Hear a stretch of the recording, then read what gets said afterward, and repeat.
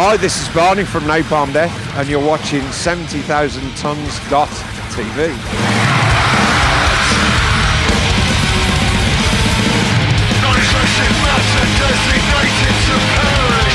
I went into it actually being a bit like, uh, you know, but, but you know, the whole thing of like pool parties and like, really, you know, and but then I really enjoyed it. I, I think the the best thing about it was it's that integration between the bands and the people that come to the festival. Now that doesn't often happen that Right. way, you know, and I thought that was a, like a really nice thing, you know, and the, and the people that came to the cruise are so like welcoming, you know. I don't get very often get chance to uh, take holidays and stuff, you know, so so I was forced to in that respect. Must So- have been terrible. Yeah, it was terrible. Oh, abs- absolute hardship, you know.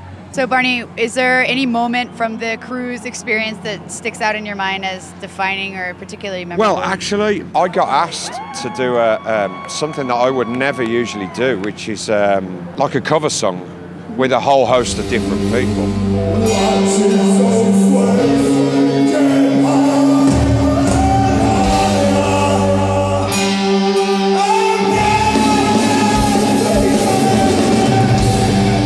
Felt quite liberating actually because I'd never done anything like that before. I was like, did I just do that? You know what I mean?